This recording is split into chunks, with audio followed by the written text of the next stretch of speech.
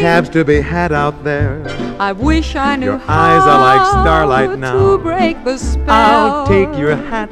Your hair looks swell. I ought to say no, no, no, Mind if sir. I move in? Buonasera. Grave perdita nel mondo dello sport e dell'economia del comprensorio. A soli 64 anni è scomparso Roberto Gottardi, contitolare insieme al fratello Paolo del maglificio Gottardi e presidente del Casalgrande. Negli anni Ottanta era stato anche vicepresidente del Sassuolo Calcio. Lascia la moglie Isabella e la figlia Martina. I funerali domani alle 15 a Sant'Antonino. Ai familiari le condoglianze da parte della nostra redazione. Dopo quattro anni di importanti attività a Sassuolo, il dirigente del commissariato Michele Morra ha concluso il suo mandato in città.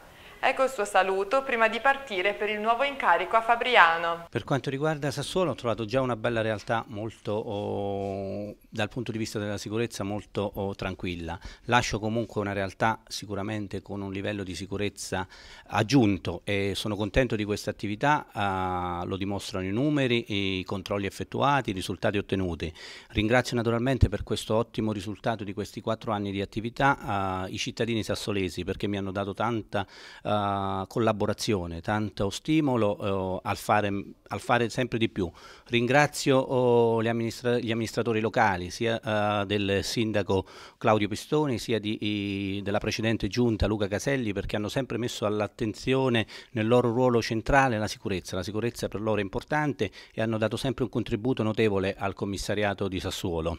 Ringrazio la Procura della Repubblica per, tutte, eh, per tutto il supporto che ha dato nelle attività investigative ed un ringraziamento oh, va ai miei uomini innanzitutto per la grande professionalità, per l'attenzione, per l'impegno che hanno dimostrato in questi quattro anni. E infine un ringraziamento voglio estendere anche a voi della stampa per quanto siete stati vicino in questa attività di informazione ai sassolesi. C'è sicuramente un qualche rimpianto.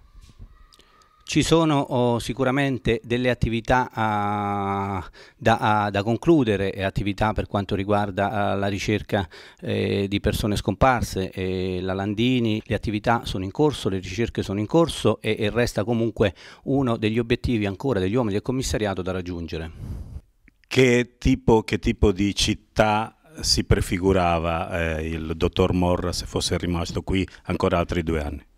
Ah, di continuare in questa strada perché questa è una città attenta, è una città ah, che sa sfruttare eh, le tecnologie per la sicurezza, lo si vede dal sistema di impianti di videosorveglianza, dalla collaborazione con l'istituzione, dalla collaborazione con eh, gli istituti di vigilanza, da tutto quel, eh, quel fare sistema che eh, ha unito le attività della Polizia di Stato con quelle degli altri enti, con la Polizia locale e con i privati.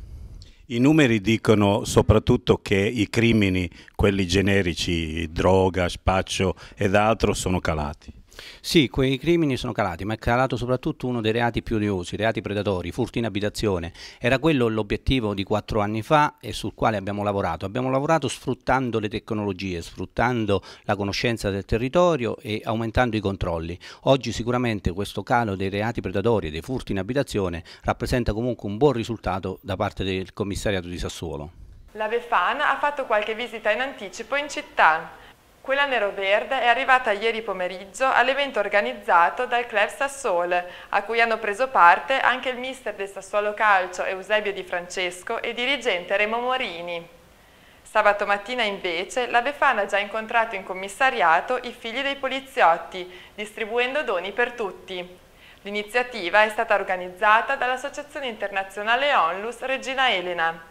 Queste le parole di uno dei rappresentanti. Un'iniziativa che veramente è, è un'anticipazione della Befana vera e propria, però fa contenti tantissimi bambini.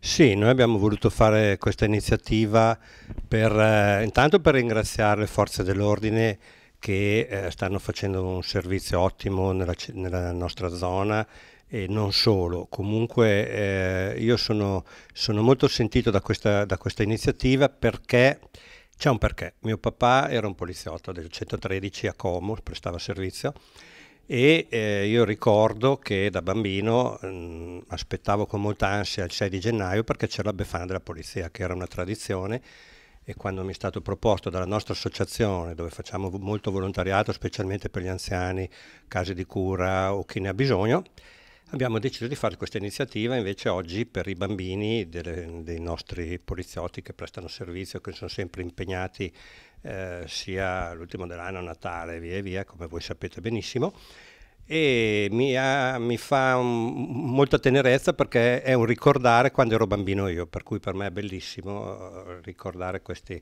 queste, queste, cose che credo che i bimbi di questi poliziotti magari oggi possono aver rivissuto e credo e spero che sia stato così. Poi, non ultimo, volevo ringraziare il dottore che nella nostra zona è stato una persona eccezionale, ha fatto un lavoro ottimo e sono anche molto dispiaciuto sia io che l'associazione che purtroppo ci lascerà e speriamo che sia solo un, una, un saluto provvisorio. Passiamo allo sport.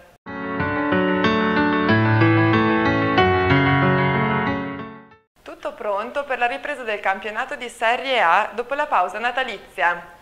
Il signor Luca Parietto, della sezione AIA di Nichelino, dirigerà Sassuolo Frosinone, in programma per il giorno dell'Epifania al Mapai Stadium. Fischio d'inizio alle 15.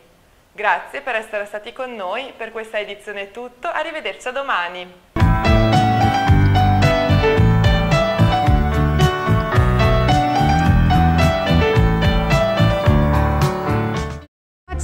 No cabs to be had out there.